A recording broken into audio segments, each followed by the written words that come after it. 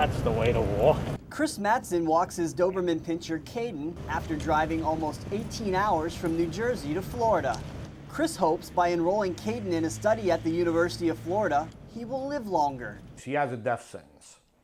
DCM's a death sentence. Caden suffers from dilated cardiomyopathy, or DCM, which is common in Doberman pinschers. DCM is a disease that causes an enlarged and weakened heart muscle and can shorten Caden's lifespan significantly. Some of these dogs are completely fine and are out playing and just fall over and die. Dr. Amara Estrada is leading a study that uses stem cells from other dogs to grow new heart muscle in Dobermans. Dr. Estrada's team injects mesenchymal stem cells into a diseased heart and checks the dog's progress in checkups periodically over 18 months.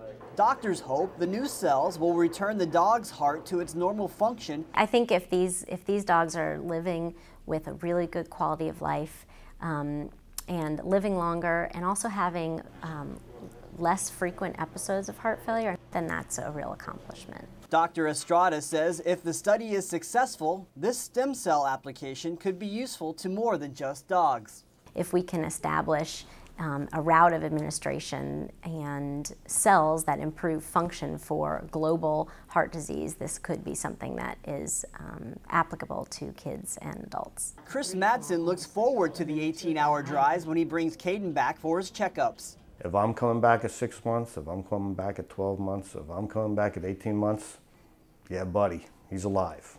That's good stuff. Chris hopes this study will help lead to a cure for Dobermans who suffer from DCM. At the University of Florida, I'm Chris Bilowich.